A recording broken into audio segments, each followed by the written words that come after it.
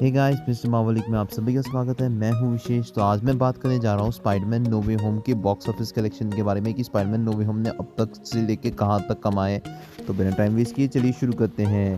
तो सबसे पहले बात करते हैं स्पाइडरमैन नोवे होम ने कमाए हैं। 253 मिलियन और ग्लोबली कमाए हैं 587 मिलियन डोमेस्टिक ओपनिंग वीकेंड है। फिर इसके बाद स्पाइडरमैन नोवे होम ने कमाए हैं 830 मिलियन जो कि नंबर वन हॉलीवुड टाइटल जीत गई है 2021 का, आप देख सकते हो। फिर इसके बाद स्पाइडरमैन नोवे होम ने कमाए हैं 100 बिलियन डॉलर यानी कि हमारे इंडिया में 200 करोड़ कमा चुकी है और highest grossing super hero movie बन चुकी है 2021 की। और स्पाइडरमैन नोवे होम का सिनेमा स्कोर है ए प्लस आप देख सकते हो। कितनी खुशी की बात है कि स्पाइडरमैन नोवे होम अब तक की बेस्ट स्पाइडरमैन मूवी और बेस्ट एम मूवी बन चुकी है। और यही नहीं स्पाइडरमैन नोवे होम ने 610 मिलियन डॉलर कमाए हैं एज़ कंपेयर करें Spiderman homecoming Avengers Infinity War Avengers Endgame और स्पाइडरमैन फार फ्रॉम होम के कलेक्शन की। तो सबसे पहले बात करते हैं स्पाइडरमैन होम कमिंग ने कमाए हैं 117 मिलियन डॉलर फिर इसके बाद एवेंजर्स इन्फिनिटी वॉर ने कमाए हैं फाइव हंड्रेड मिलियन डॉलर फिर इसके बाद बात करें स्पाइडरमैन फार फ्रॉम होम की तो स्पाइडरमैन फार फ्रॉम होम ने कमाए हैं 160 मिलियन डॉलर फिर एंड में बात करते हैं एवेंजर्स एंड गेम की तो एंड गेम ने कमाए हैं 900 मिलियन डॉलर तो ये थी बॉक्स ऑफ़िस पर में स्पाइडरमैन नोवे होम ने सबसे ज़्यादा कमाए हैं। फिर इसके बाद बात करते हैं नेक्स्ट फिर स्पाइडरमैन नोवे होम ने फ़र्स्ट पोजीशन में है, आप देख सकते हो। सेकंड है चांची फिर वैनम टू फिर ब्लैक फिर इटर्नल्स लास्ट में।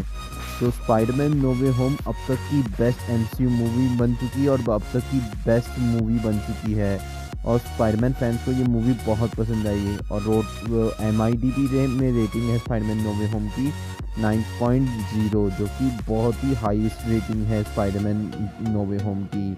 और अब बात करते हैं कि हमें इन फ्यूचर में स्पाइडरमैन देखने को मिलेगी। तो एमी पेस्कल का इंटरव्यू आया था, आप देख सकते हो।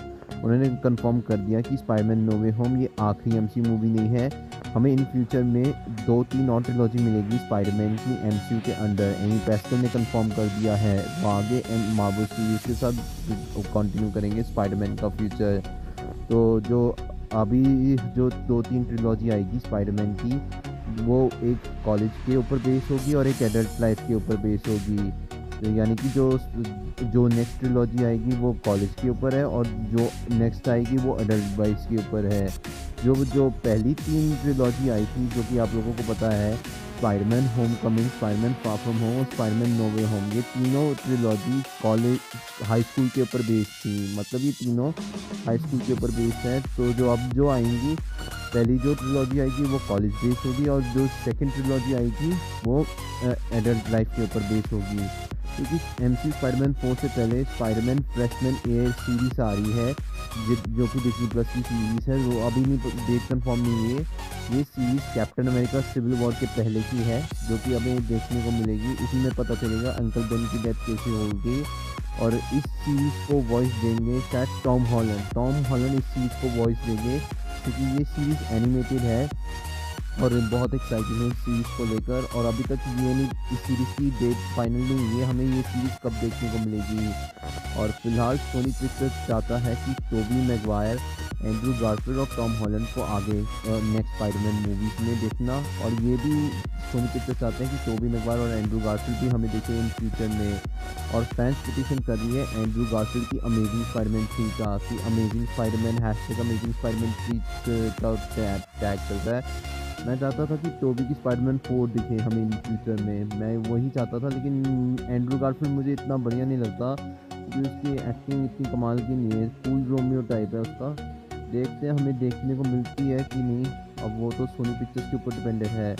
बाकी आप लोग मुझे कमेंट सेक्शन में बताओ कि आप किस एक्टर की देखना पसंद करोगे स्पाइडरमैन की मूवी इन फ्यूचर टोबी की स्पाइडरमैन फोर या एंड्रू गार्फिल्ड की अमेजिंग स्पाइडरमैन थ्री आप लोग मुझे कमेंट सेक्शन में ज़रूर बताइएगा। कि आप दोनों में से किसी एक को कौन सी देखना चाहते हो? तो स्पाइडरमैन ये थी स्पाइडरमैन नोवे होम की बॉक्स ऑफ़िस कलेक्शन अब तक की इतनी बढ़िया कलेक्शंस है, बहुत मज़ा आ गया। और ये अब तक की बेस्ट स्पाइडरमैन मूवी है और highest grossing super hero movie बन चुकी है 2021 की। मुझे बड़ा मज़ा आया इस मूवी को देखने के लिए।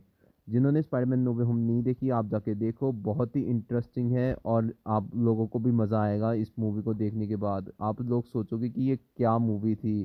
तो please don't miss Spiderman no way home अभी भी सिनेमा घर में रिलीज़ है। तो गाइस कैसा लगा वीडियो आई होप आप लोगों को वीडियो पसंद आया होगा। इस वीडियो को लाइक और शेयर करो। और अगर आप मेरे चैनल में नहीं हो तो मेरे चैनल को अभी के अभी सब्सक्राइब करो। टिल देन मैं मिलूँगा नेक्स्ट वीडियो में। तब तक लिए subscribe mister मावलिक be मावलिक and be Marvel fan